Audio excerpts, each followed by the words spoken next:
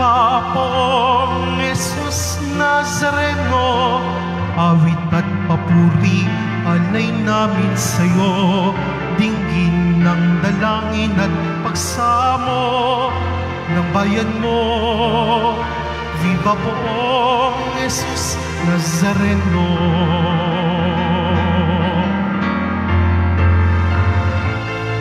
Tayong ngayon ay maglipon at sambahin ang buon. Magdiwang tayo sa ating debosyon, purihin ang Panginoon. Viva pong Jesus Nazareno, awit at papuri, alay namin sa'yo. Dinigin ang dalangin at pagsamo ng bayan mo. Viva pong Jesus Nazareno.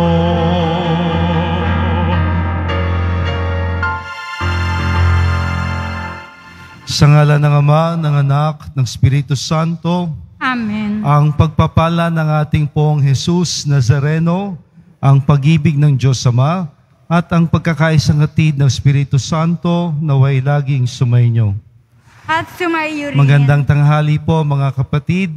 Ngayon ay unang biyernes sa buwan ng Agosto at ngayon pong ikaapat ng Agosto, atin pong ipinagdiriwang ang kapistahan ni San Juan Bautista Maria Vianney, ang patron ng lahat ng mga paring sekular at ng diocesan at ng mga relihiyoso. Unang araw, unang biyernes po sa buwan ng Agosto, ating biglang sigla ang ating debosyon sa kamalmahalang puso ng ating Panginoon, bukal ng mabathalang awa. Ipagpasalamat po natin ang uh, pagbabalik liwanag sa kapaligiran, sa biyaya ng uh, maalwan na mag, buong umaga, makatuyo na wasata na tayo ng ating mga daan at mga labahan para sa kagalingan ng mga may sakit at sa intensyon nating lahat maging ng mga medical uh, mechanical engineers at ng mga certified plant mechanics sa kanilang board exams upang sama-sama tayong mabiyayaan ng Panginoon, hingin natin sa Kanya sa tulong ng bawat isa ang kapatawaran sa lahat nating nagawang kasalanan. Inaamin ko sa makapangyarihang Diyos at sa inyo mga kapatid, na lubha kong nagkasala sa isip, sa salita at sa gawa, at sa aking pagkukulang. Kaya't sinasamo ko sa mahal na Birheng Maria, sa lahat ng mga anghel at mga banal, at sa inyo mga kapatid na ako'y panalangin sa Panginoong ating Diyos. Kaawaan tayo ng makapangyarihang Diyos, patawarin tayo sa ating kasalanan, at ihatid tayong lahat sa buhay na walang hanggan. Amen. Panginoon, kaawaan mo kami. Panginoon, kaawaan mo kami. Kristo, kaawaan mo kami. Kristo, kaawaan mo kami. Panginoon, kaawaan mo kami. Panginoon, kaawaan mo kami. Manalangin tayo. Ama naming makapangyarihan, ginawa mong maging uliran sa pagmamalasakit sa kapwa ang paring si San Bautista Maria Vianney. Pakundangan sa kanyang huwarang pamumuhay at pagdalangin, mapagmalasakitan nawa namin ang kapwa-tao alang-alang sa pag-ibig ni Kristo para sila'y aming maakit sa iyo at kaisa nila ay aming marating ang kaluwalhatian mo. Hinihiling namin ito sa ngalan ni Heso Kristo, kasama ng Espiritu Santo, magpasawalang hanggan. Amen. Magsiupo muna po ang lahat.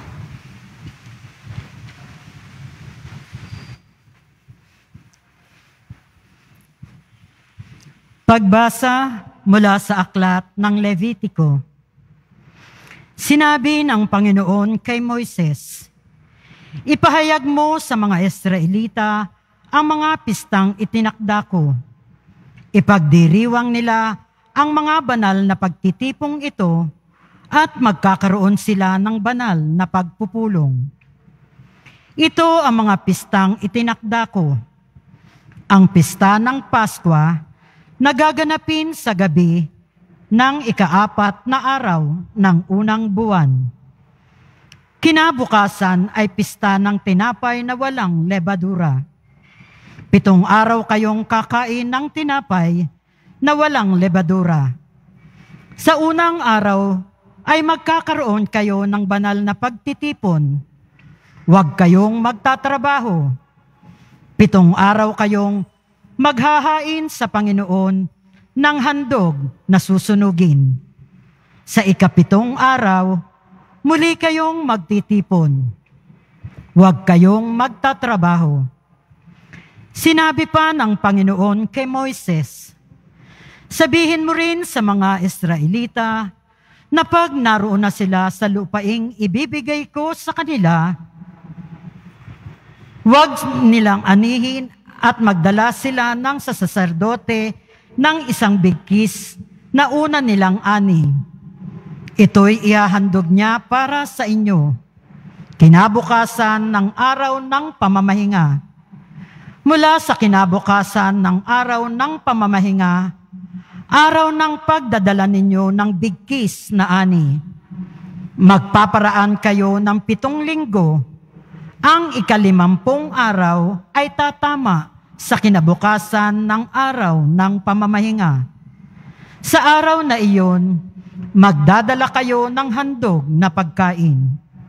Ang ikasampung araw ng ikapitong buwan ay araw ng pagbabayad sala magkaroon kayo ng banal na pagtitipon.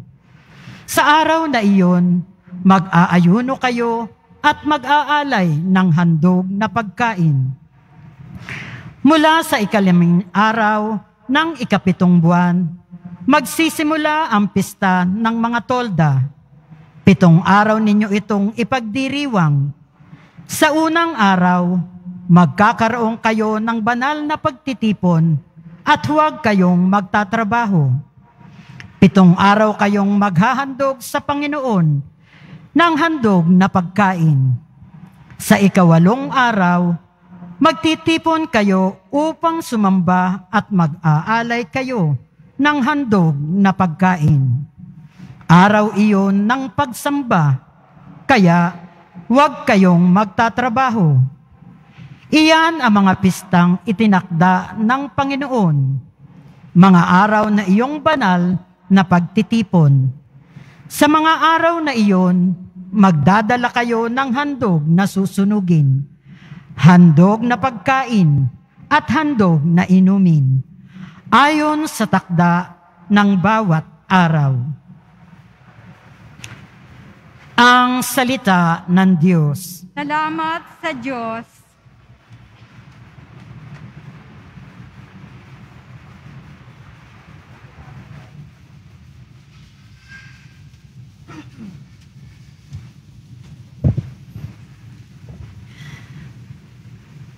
Masigla nating awitan ang Diyos nating kaligtasan. Masigla nating awitan ang Diyos nating kaligtasan. Umawit sa saliw nitong pandereta, kasabay ng tugtog ng lira at alpa, hipa ng tambuli tuwing nagdiriwang, kumbuan ay bagot nasa kabilugan Masigla nating awitan ang Diyos nating kaligtasan. Sa bansang Israel, ito yaong utos, batas na ginawa nitong Diyos ni Jacob.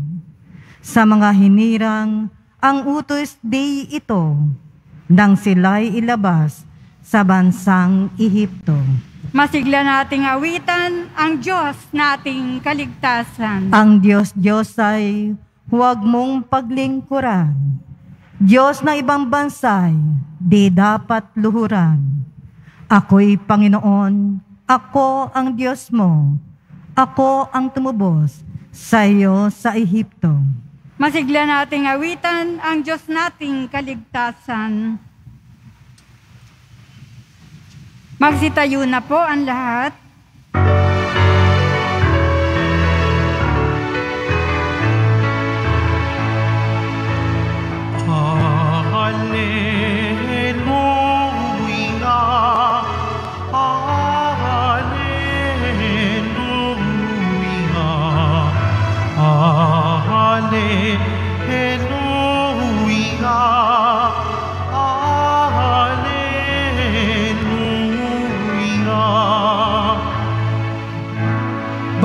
Balita sa inyo ngayon, salita ng Panginoon, iiral habang panahon.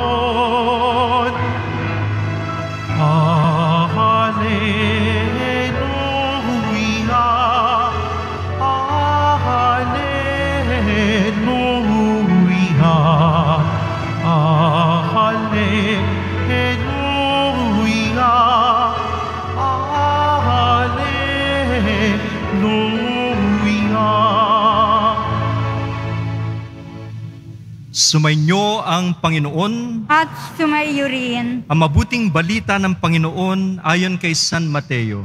Papuri sa iyo, Panginoon. Nung panahong iyon, umuwi si Jesus sa kanyang bayan at nagturo sa kanilang sinagoga. Nagtaka ang mga nakarinig sa kanya. Sabi nila, saan kumuha ng karunungan ang taong ito? Paano siya nakagagawa ng kababalaghan? Hindi ba ito ang anak ng karpintero? Hindi ba si Maria ang kanyang ina? At sina Santiago, Jose, Simon at Judas ang kanyang mga kapatid na lalaki? At dito nakatira ang kanyang mga kapatid na babae, hindi ba? Saan niya natutunan ang lahat ng ito? At ayaw nilang kilanlin siya.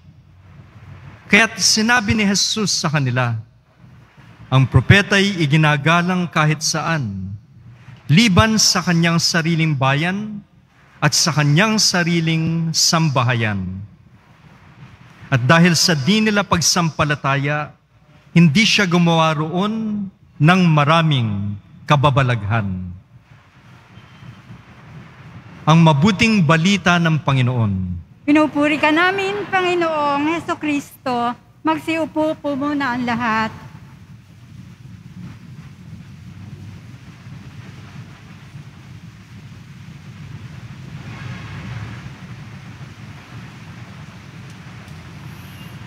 Magandang tanghali po sa ating lahat. Maraming maraming salamat po sa inyong pagdalo sa ating banal na misa. Ngayon pong unang biyernes sa buwan ng Agosto, ang ating pagpaparangal sa kamalmahalang puso ng ating pong Jesus Nazareno, bukal ng mabathalang awa. Palakpakan po natin ang ating mahal na poong. Tayo po'y pinagpala na ngayon pong ikaapat ng Agosto, ating pong ipinagdiriwang ang kapistahan ni San Juan Bautista Maria Vianney, si Saint John Baptist Marie Vianney. Siya po ang kinikilalang patron ng lahat ng kaparian, ng mga dayosisano at mga religious. At ito po ang tamang araw at tamang panahon ng pagbati ng Happy Father's Day sa mga pare. Kasi ho, di ba, noong June, pinagdiwang ho natin ang, ang Father's Day. Eh, sa karanasan ko po bilang pare, may bumati ho sa akin, Father, Happy Father's Day. Sabi ko, salamat ho sa pagbati. Kaya lang ho, yung Father's Day ngayong June, eh para sa totoong mga ama na mayroong mga anak. Wala pa po akong anak. Nagbabalak, may balak ata si Father. Pero ho, ngayon, ang tamang araw na yun mga kakilala ninyong mga pari, ang inyong parish priest, kura paroko, kaibigang pari, kamag-anak, kaibigan, kamag-aral, kakilala, ka-textmate, eh, batiin ho ninyo ng Happy Father's Day, Happy Priest Day. At ngayon po ay pinagpala tayo na kasama po natin si Father Joel, isa pong uh, Don Bosco priest, Salesian Fathers, na siya pong nagbasa ng ating banal na ebanghelyo. Palakpakan po natin si Father Joel. Ang ating pong pagbasa ay bibigyan natin ng higit na pansin sa ebanghelyo na tiyak ay narinig yun na po ng maraming ulit, maraming pagkakataon.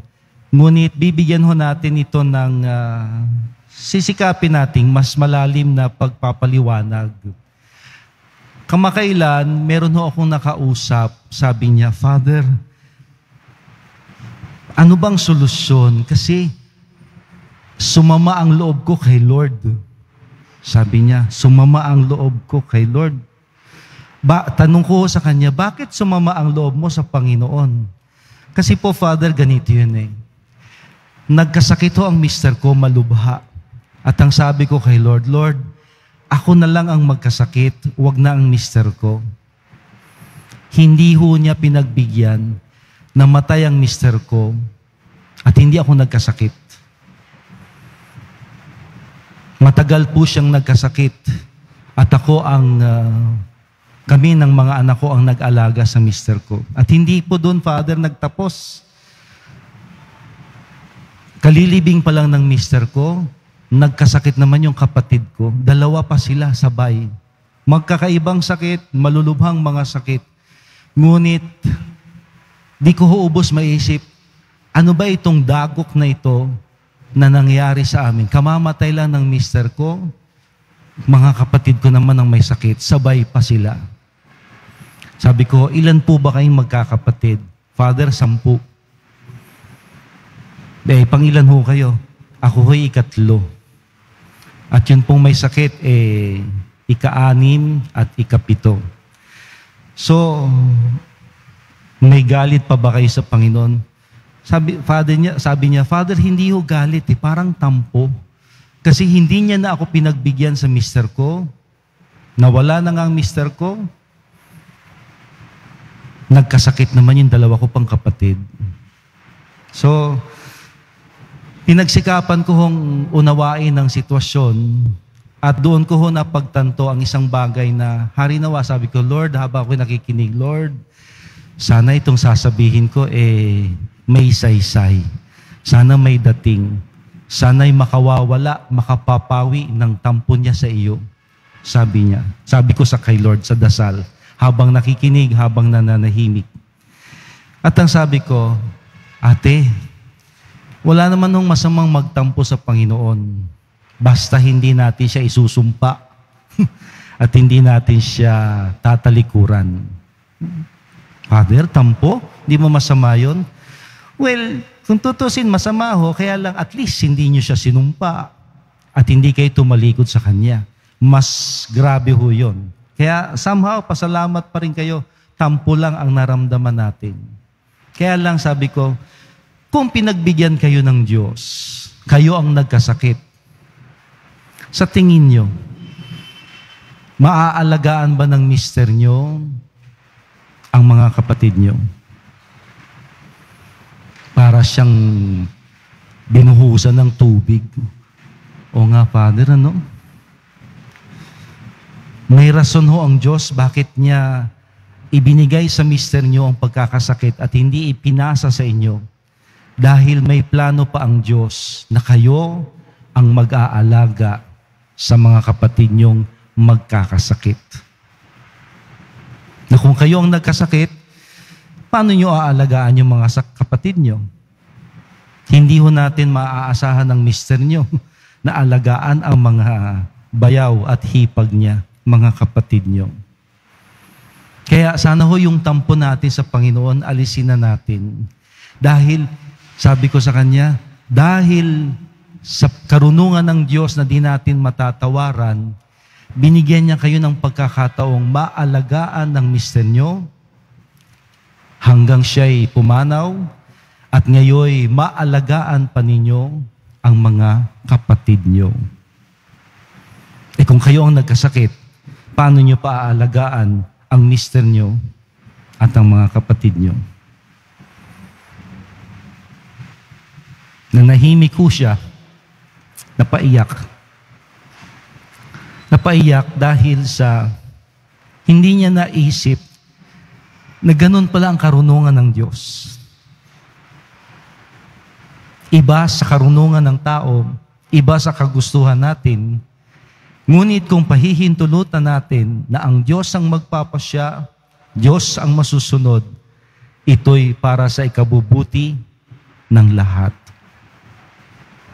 Nawala man ang mister niya, na ipakita niya ang kanyang pagiging mabuting kabiyak at asawa. At hindi lang doon nagtapos, ginagampanan pa niya ngayon ang pag-aalaga sa mga kapatid niyang nangangailangan at may sakit. Now, naibanggit ko ho ito dahil sa Ebanghelyo, tinawaran po ng mga kababayan ni Jesus ng ating poon, ang mahal na poon, minaliit nila. Sabi nila, saan ka, nag, saan galing ang karunungan mo? Eh, pare-pare wala naman tayong taga rito. Saan ka ba nag-aral? No? Sino mang mga magulang? Nanay mo, tatay mo, kilala ko yan eh. No? Kasakasama namin dito eh. Hindi nila ubos maisip ang karunungan ng Panginoon Kaya't ito'y kanilang hinamak at nimaliit, minaliit. Without them consciously knowing, di nila namamalayan na sa paghamak nila at pagmamaliit sa Panginoon, hinahamak nila ang kanilang mga sarili. Nakulang na lang sabihin nila, walang magaling na manggagaling sa atin. Di po ba? Kaya sana ho kung meron aral sa atin ng Ebanghelyong ito, una, huwag ho nating hawmakin ang karunungan ng Diyos. Huwag ho tayong magpakitang mas marunong pa sa Diyos. Marami ho tayong gustong gawin, marami tayong alam, marami tayong plano. Ngunit ang lahat ng ito ay kailangan ho nating buong pagpapakumbabang ipailalim, isuko sa higit na makapangyarihang karunungan ng Diyos. Ako ay madalas sa 4 p.m. Ngayon lang ako na 12.15. Siguro naninibago ko kayo, no? Ah, sasabihin ko dito, yung memorize na ho nila sa 4 p.m. Mass. No? It's a Russian maxim na alam ko hong dapat nyo ring marinig. Meron no silang kasabihan, ang mga Ruso. Man proposes, God disposes. Man proposes, God disposes. Sa ikatlong pagkakataon, kayo naman po. Man, but God disposes. Wala daw pong masama na lahat isang guni ialay natin, hingin sa Panginoon Ngunit bigyan natin ng laya ang Panginoon na siya ang magpasya kung ano ang sa atin nararapat at nauukol. Hindi natin pwedeng pangunahan ng Diyos. Hindi natin siya pwedeng, pwede naman natin siyang pangunahan at diktahan, ngunit hindi nararapat dahil higit ang kanyang karanasan, higit ang kanyang kapangyarihan, higit ang kabutihan ng Diyos kaysa sa kabutihang sa ating nananahan. At bakit natin ipagkakait sa atin ang higit na kabutihan ng Diyos kaysa igiit ang sarili nating alam na makabubuti sa atin. Yan ang problema sa atin eh. Marami ho sa atin mga maru. Alam mo yung maru? Nagmamarunong.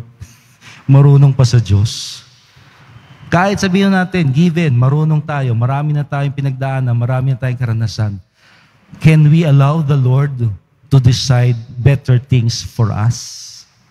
Pwede ba nating pahintulutan na sa aking kaalaman at karanasan at kakayahan, kikilalanin kong higit ang karunungan ng Diyos na dapat kong hayaang sa akin ay maghari at manahan.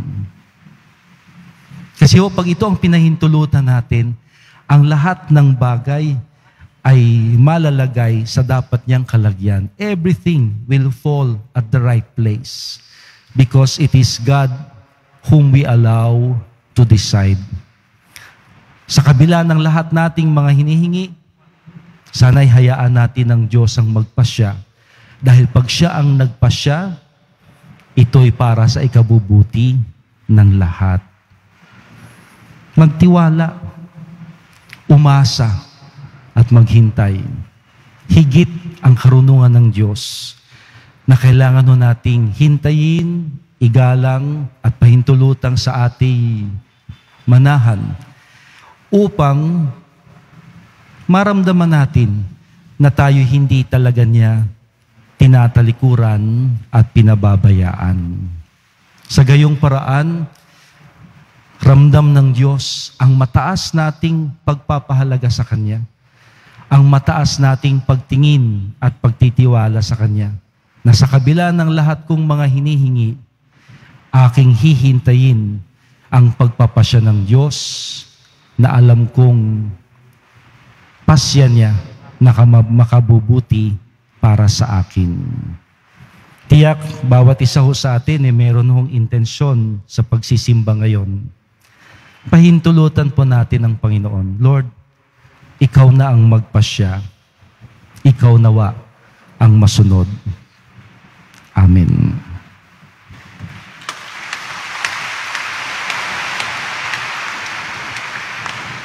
Magsitayo na po ang lahat.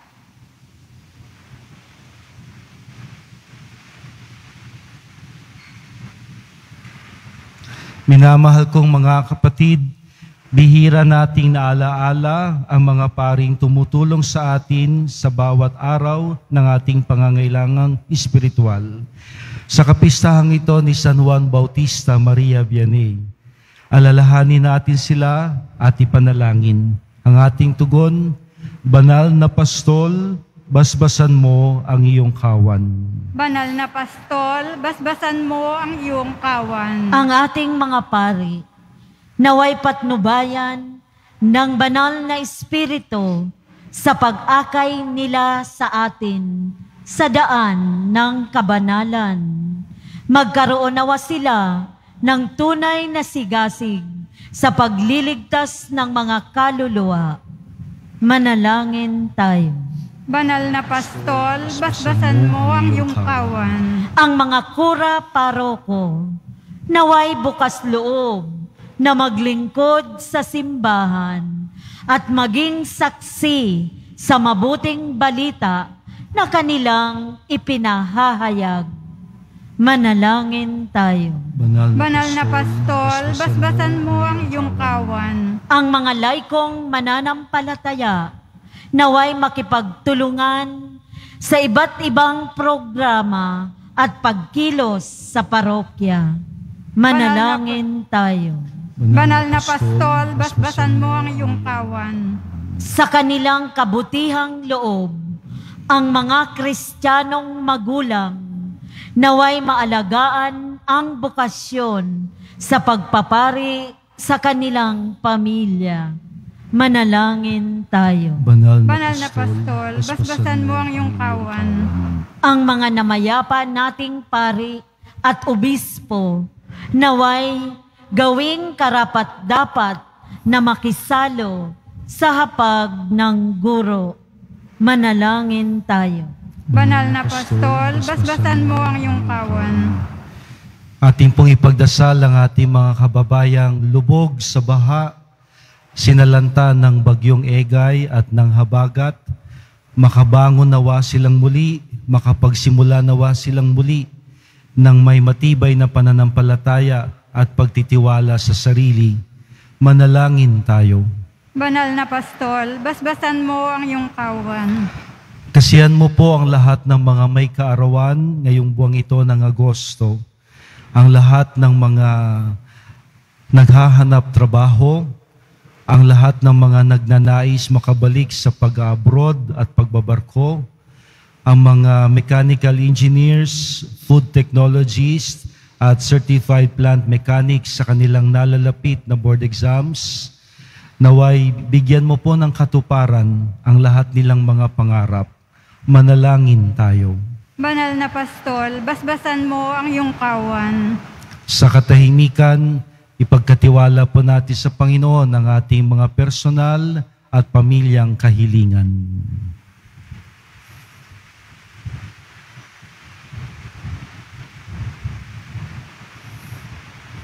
O Diyos, amang makapangyarihan, buong kababaang loob kaming humaharap sa iyo, taglay ang aming mga pakiusap at kahilingan. Kami naniniwala na di namin matatawaran ang iyong kabutihan at kagandahang loob. Pakinggan mo ang aming mga panalangin at kami nawa ang iyong maging daan at daluyan ng pagpapalang nais mong ibigay sa ibang naghihintay. Hinihiling namin ito sa ngalan ni Heso Kristo, kasama ng Espiritu Santo, magpasawalang hanggan. Amen. Magsiupo muna po ang lahat.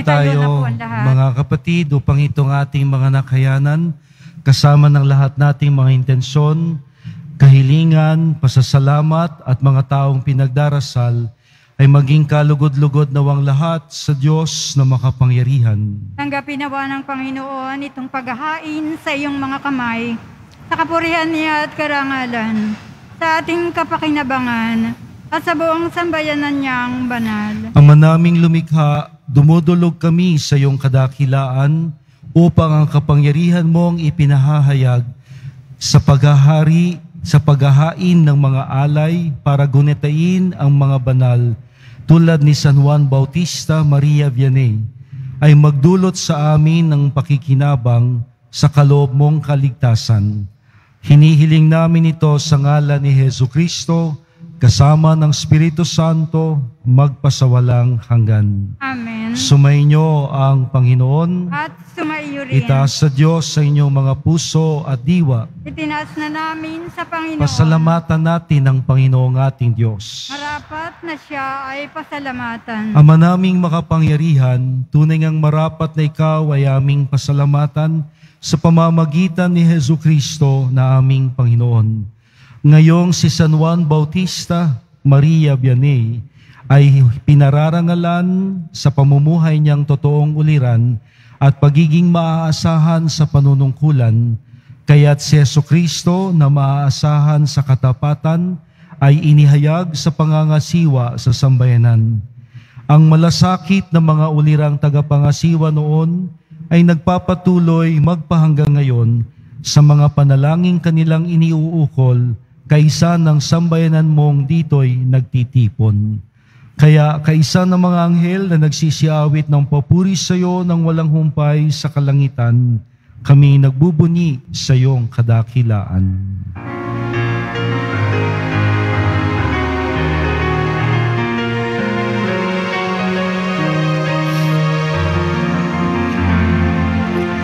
Santo, Santo, Santo, Panginoong Diyos na makapangyarihan, napupuno ang langit at lupa ng kaluwalhatian mo. O sana, o sana, sa kaitaasan, pinagpala ang naparirito sa ngalan ng Panginoon. O sana, o sana, sa kaitaasan.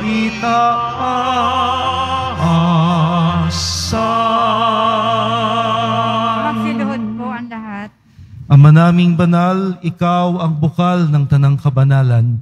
Kaya't sa pamamagitan ng iyong Espiritu, gawin mong banal ang mga kaloob na ito upang para sa amin ay maging katawan at dugo ng aming Panginoong Heso Kristo. Bago niya pinagtiis ang kusang loob ng maging handog, hinawakan niya ang tinapay. Pinasalamatan kanya, pinaghati-hati niya iyon, iniabot sa kanyang mga alagad na ang sabi, Tanggapin ninyong lahat ito at kanin. Ito ang aking katawan na ihahandog para sa inyo.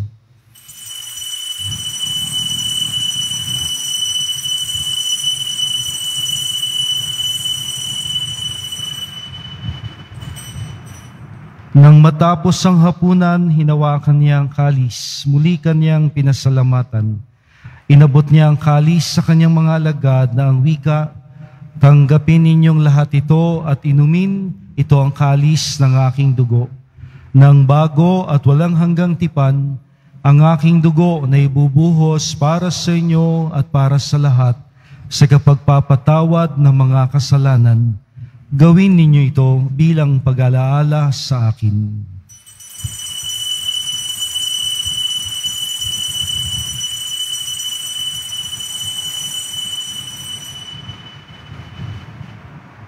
Ipagbunyi natin ang misteryo ng pananampalataya. Si Kristo'y namatay. Sa krus mo at pagkabuhay, kami nagtubos mong tunay.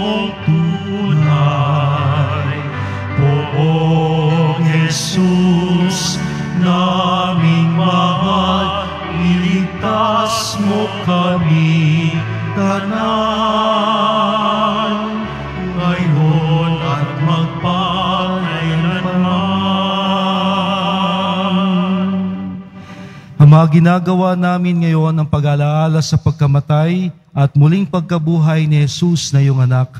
Kaya't iniaalay namin sa iyo ang tinapay na nagbibigay buhay at ang kalis na nagkakaloob kaligtasan. Kami nagsama, nagpapasalamat dahil kami yung minarapat na maglingkod sa iyo. Isinasamo namin kaming magsasalo-salo sa katawan at dugo ni Kristo ay mabuklod sa pagkakaisa sa pamamagitan ng Espiritu Santo.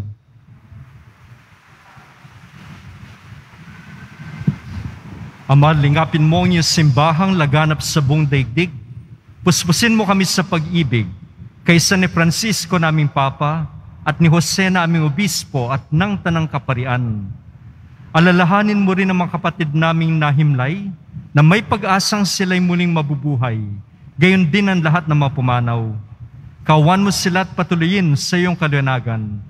Kawan mo at pagindapatin kaming lahat na makasalo sa iyong buhay na walang wakas kaysa na mahal ni Birheng Maria na nanang Diyos, ng kabiyak ng puso niyang si San Jose, kaysa ng mga apostol ni San Juan Bautista Maria Vianney at ng lahat ng mga banal na namuhay dito sa daigdig ng kalugod-lugod sa iyo.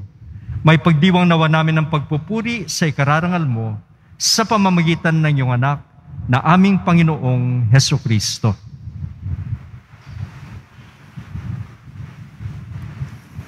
Sa pamamagitan ni Kristo, kasama niya at sa Kanya, ang lahat ng parangal at papuri ay sa iyo, Diyos amang makapangyarihan, kasama ng Espiritu Santo, magpasawalang hanggan.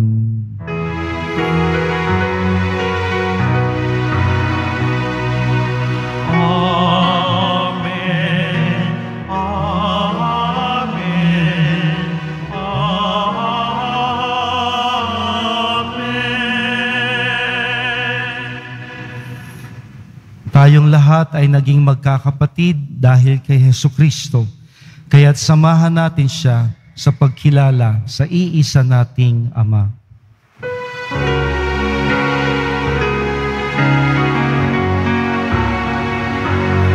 Ama namin, sumasalangit ka, sambahin ang ngalan mo,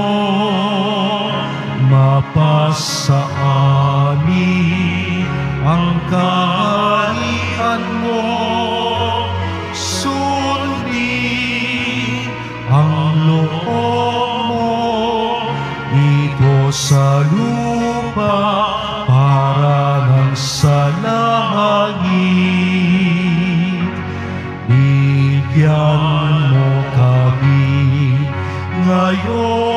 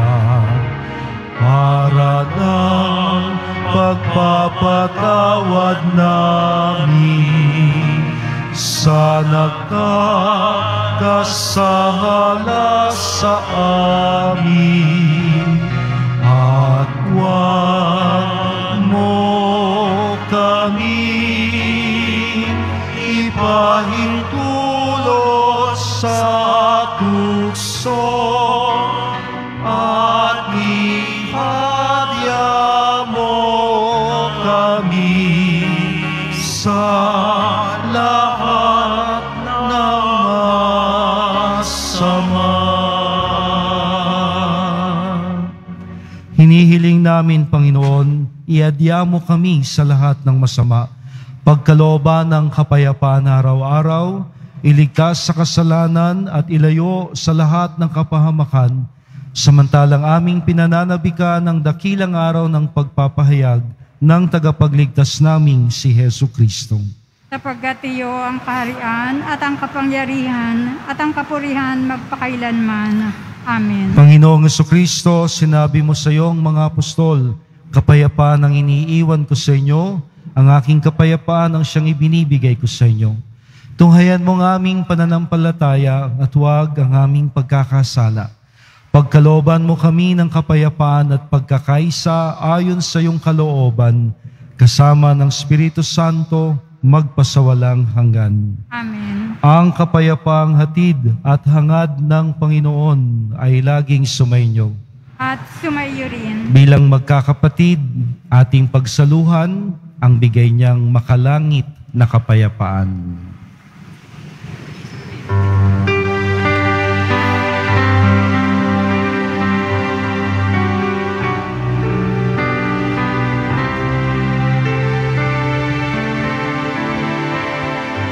Cordero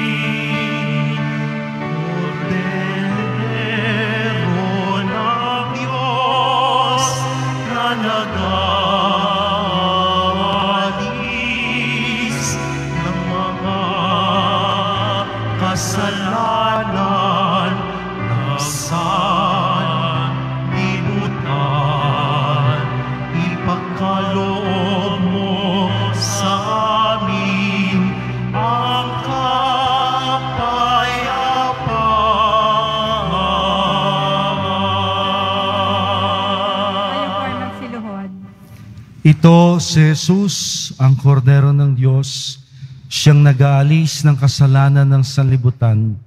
Mapalad tayong lahat na sa Kanya'y kikilala at tatanggap. Panginoon, yaw karapat dapat na magpatuloy sa iyo, ngunit sa isang salita mo lamang ay gagaling na ako.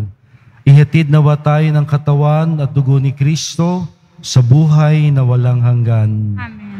Ang katawan ni Kristo. Amen.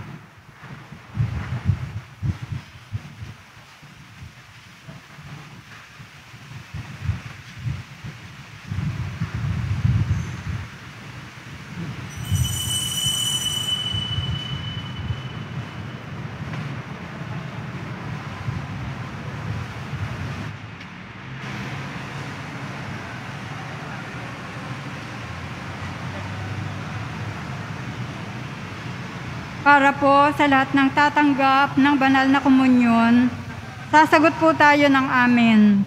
Pagkasabi ng pari o ng lay minister ng katawan ni Kristo at isubo agad sa bibig bagong mali sa harapan ng pari o ng lay minister. Sumunod po tayo. Maraming salamat po. This.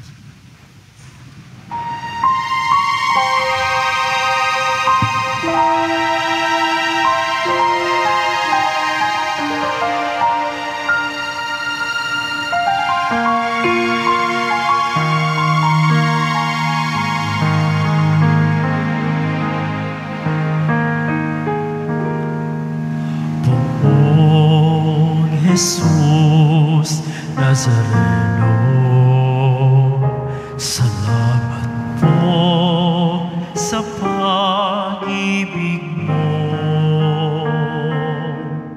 Ang buhay mo'y inialay Sa krus ay namatay.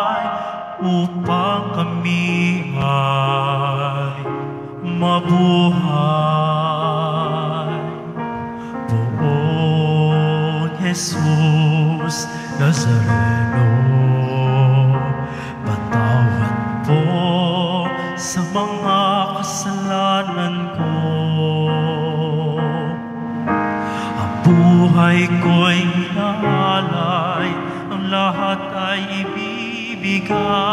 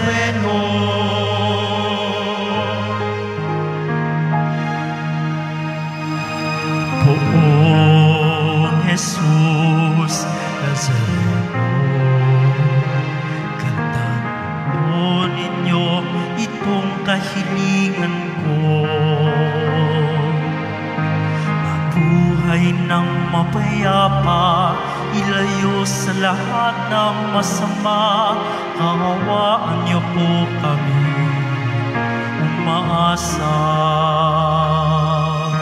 Poong Jesus Nazareno, patubayan mo nawa gabayan ako. Inintas sa kapahamakan at iyak na kamatayan, huwag po ninyo kami pababayaan.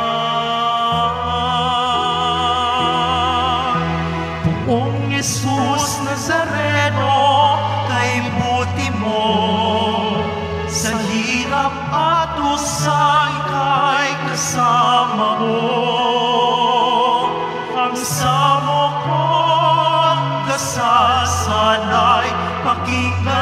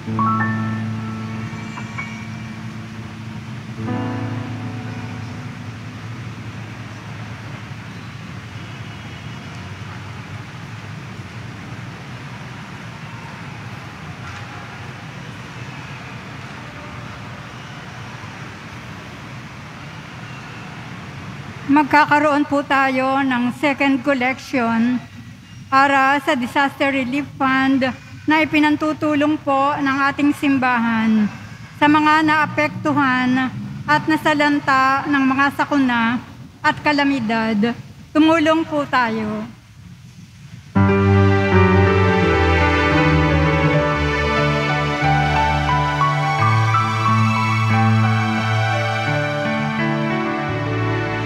Walang sinuman sa sarili lamang. Walang sinuman ang namamatay para sa sarili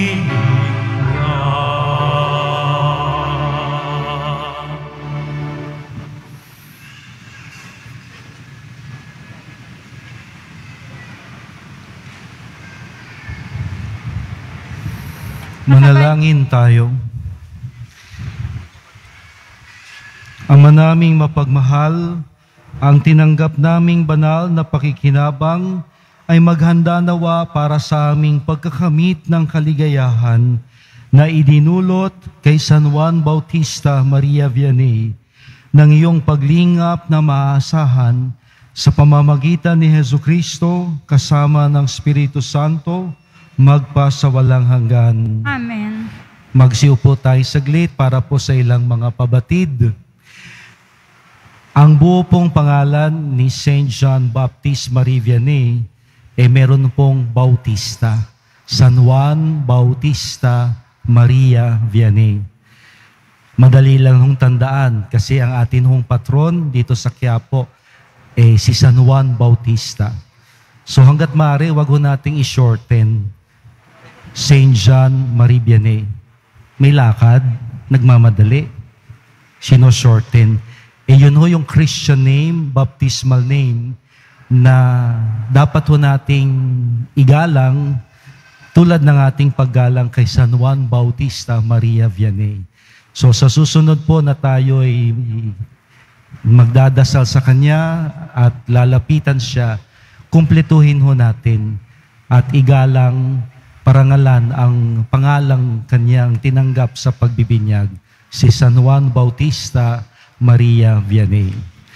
Kalawa, bukas po ay first Saturday of August at kung tayo ho'y may pagpaparangal sa kamahal-mahalang puso ng ating Panginoong Nazareno ngayon, sana po'y huwag nating kalimutan na maglaan din ng pagdedebosyon tuwing first Saturday of the month sa kal- kalinis-linisang puso ng ating mahal na ina.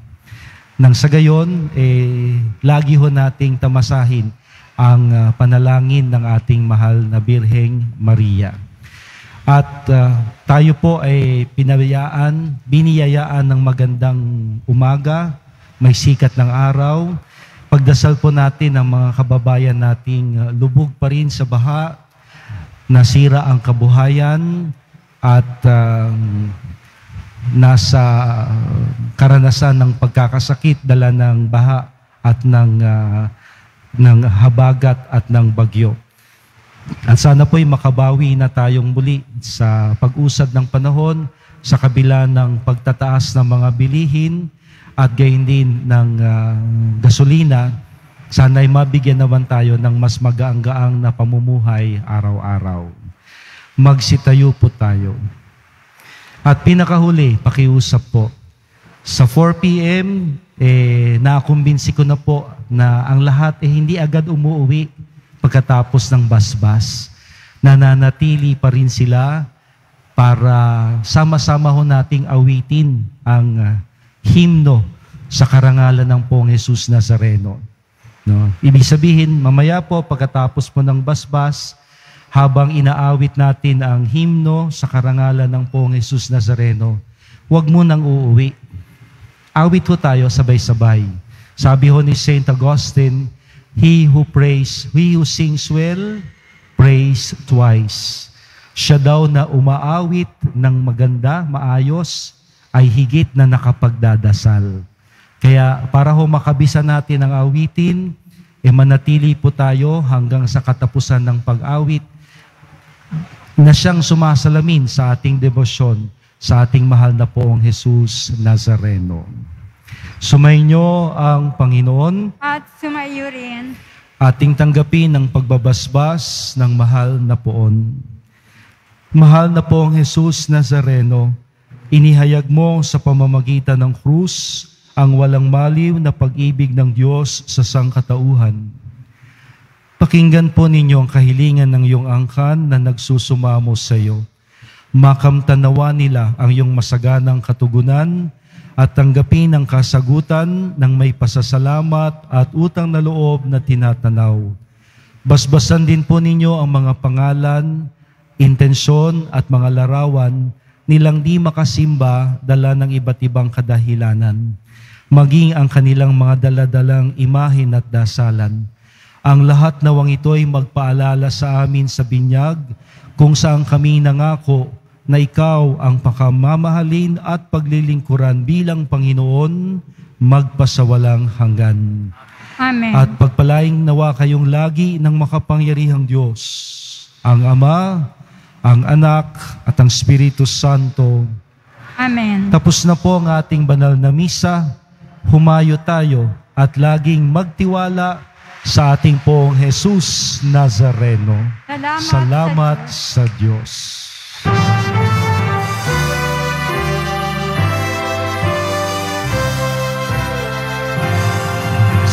Padre Jesús Nazareno, sinasamba ka namin,